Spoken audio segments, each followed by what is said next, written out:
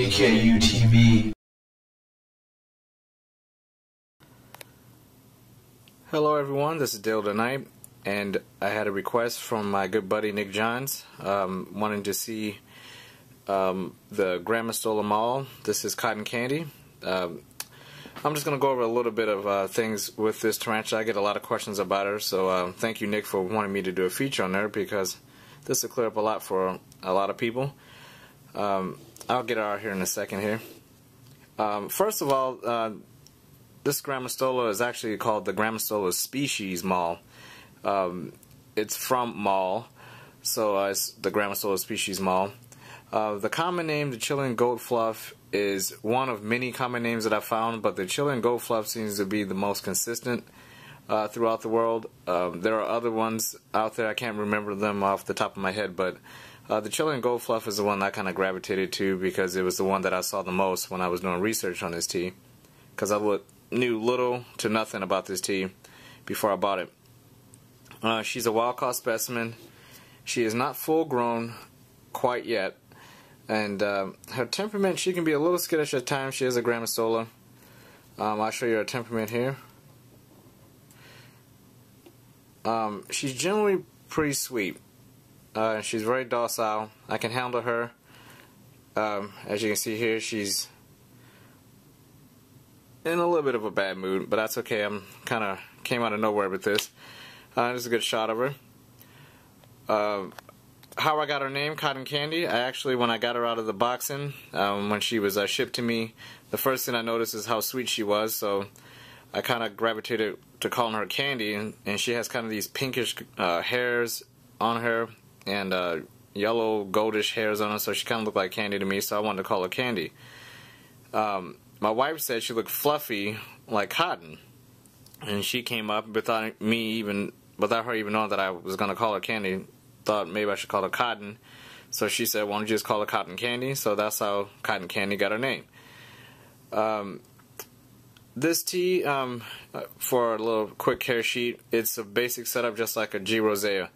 Um, I fill up the water dish and overflow it, and I make sure it, it goes down a little bit. Uh, she doesn't really care too much about uh, drinking out of this water dish or how much humidity is in here. She does fine with it. She does not use a hide. I just use a piece of uh, bark here. Um, she had a hide in here. She never used it. She kind of likes this. I use this a lot with some of my uh, more docile teas like my Aphonopelma chalcodes and my uh, other G. rosea, which is about her size, uh, Whisper, uh, my G. rosea female, which is about her size. Um, I don't give them hides. They kind of do better uh, with just, this acts like a hide but doesn't really have it. Um, this Grammostola likes to climb, so that's why I put this up here. Uh, she actually lays up here, as you can see the wet the webbing there. She lays right here half the day. The other half, she's down here she webs up this leaf and she kind of sits over here. Um, she'll be getting an upgrade soon, but as you can see on the back of her abdomen, she'll be due for a molt here in the next few months. So I'm going to hold out on uh, giving her anything a little bigger until I see exactly how big she's going to get after a molt. Um, Size-wise, I wouldn't think they would get any bigger than a G. Rosea, although I have seen and heard that these teas can get a little bit larger than a G. Rosea, um, but not by much. This one here is um, not as bulky. She's a little more skinnier than a G. Rosea. Um, but you, it, it's kind of an illusion because the, le the hairs on her legs make her look a little more chunkier than she actually is. Um, other than that, uh, this is a great species. If you want one, I highly recommend it. If you can find one, get one because they are very, very beautiful. Her colors on her are starting to dull out a little more now that she's in starting to reach pre-molt. She was much more vibrant when I got her.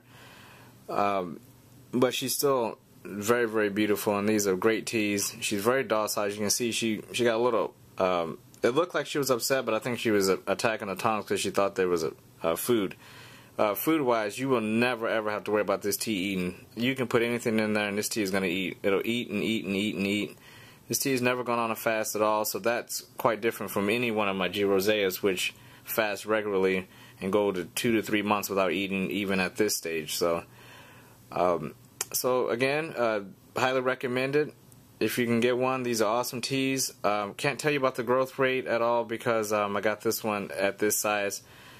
and uh, this is a wild caught, so I, I have no idea about the growth rate and uh, life expectancy on these, but awesome teas. I highly recommend them. So um, hope you guys enjoyed this one. Um, you'll see her in the next Tarantula Cloud, Tarantula Cloud number 15, I believe. Uh, she has uh, she's in the feeding portion of that, so um, check that out. Thanks for watching, guys. Have a good one. Take care.